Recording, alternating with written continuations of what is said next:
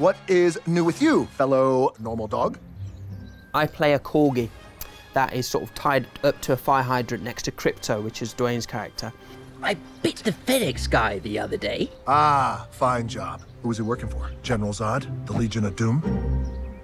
FedEx. Of course, the Federation of X's. Not to be trusted. And uh, we have this really awkward back and forth. Oh my god, I'm so excited. I'm a massive wrestling nerd. Like that is that is my whole childhood. Now I do comedy. All of a sudden, imagine how it feels to be like, cool, I'm in a film with Dwayne The Rock Johnson and Kevin Hart. You literally worship the ground that dude walks on.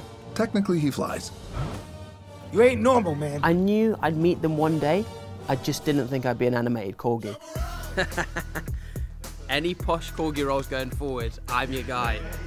It's really great planning on the part of my great great great granddad to pick the surname Chawawa. Because now, when, when, a, when a film about dogs comes around, who's first in line? Munya Chawawa. So it's all worked out beautifully. I feel like this is my destiny. What is taking my owner so long?